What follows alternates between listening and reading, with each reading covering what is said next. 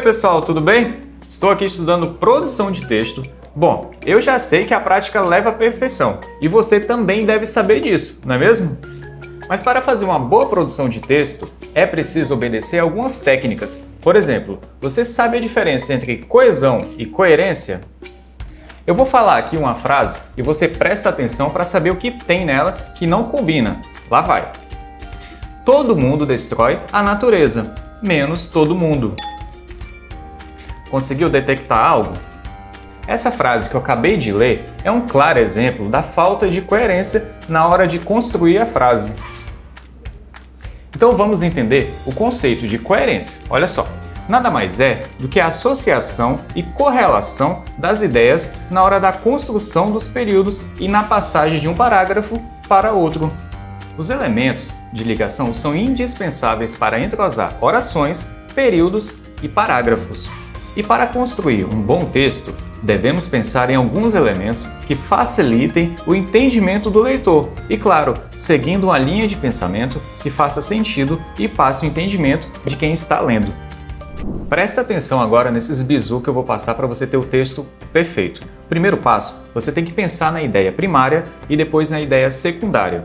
Segundo passo, Procure sempre escrever de forma clara, simples, objetiva e, claro, sempre de forma coerente. Terceiro tópico: ter o raciocínio e o pensamento lógico. E esse último é bem importante, anota aí. Você tem que mostrar que tem o conhecimento e domina o assunto que vai abordar. Bom, agora que já entendemos sobre coerência na produção de texto, não podemos esquecer que na hora de ler um texto, ele deve ser entendido da forma correta e, para isso, precisa que exista uma coesão. Vamos saber agora o que é coesão. Vamos lá? A coesão é fundamental para o texto ser harmonioso e transmitir a mensagem com clareza e faça sentido para quem lê. Existem cinco tipos de coesão textual. Vamos entender cada uma delas.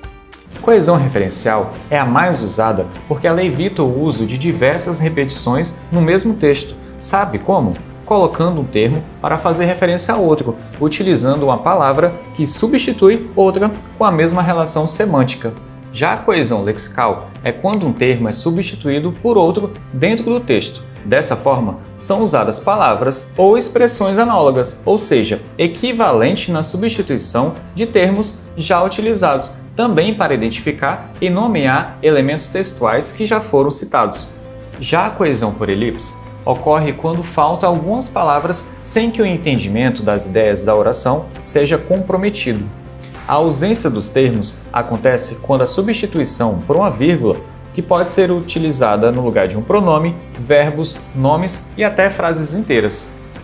Agora, a coesão por substituição acontece à medida em que substantivos, verbos, períodos ou trechos de textos são constituídos ou conectivos ou expressões ao que já foi dito. Anota aí. E por último, a coesão sequencial, que faz o uso de conjunções, conectivos e expressões que sequenciam os assuntos, dando uma continuidade em relação ao que já foi dito. Preste atenção agora, porque eu vou passar algumas dicas importantes para você ter um texto harmônico. Primeira dica, hein? Coloque as palavras em ordem corretamente em cada período. Segunda dica: as flexões nominais devem ser utilizadas corretamente, assim como as flexões de gênero e número.